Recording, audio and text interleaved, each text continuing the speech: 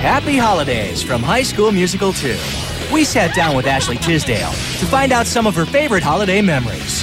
When I was younger, I used to put on a lot of shows at Christmas time. I'm always the type of person that was running around wanting to entertain people. I wrote a Christmas song that I still remember today. I'm not going to sing it just because it's like so cheesy, but I put it on for my uncle and my grandma and my mom, my dad, and me and my cousin put it on. We were like all excited that we wrote a song for the first time. We were really proud of ourselves. Ashley Tisdale. Now she's entertaining a whole new audience, including you.